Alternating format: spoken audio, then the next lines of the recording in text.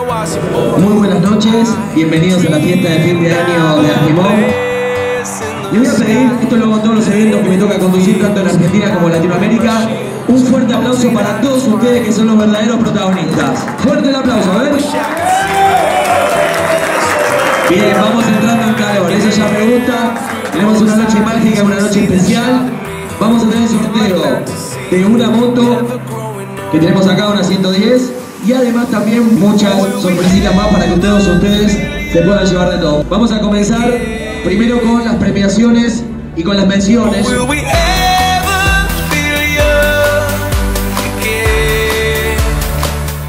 El ganador de la moto Beta 110 es Nahuel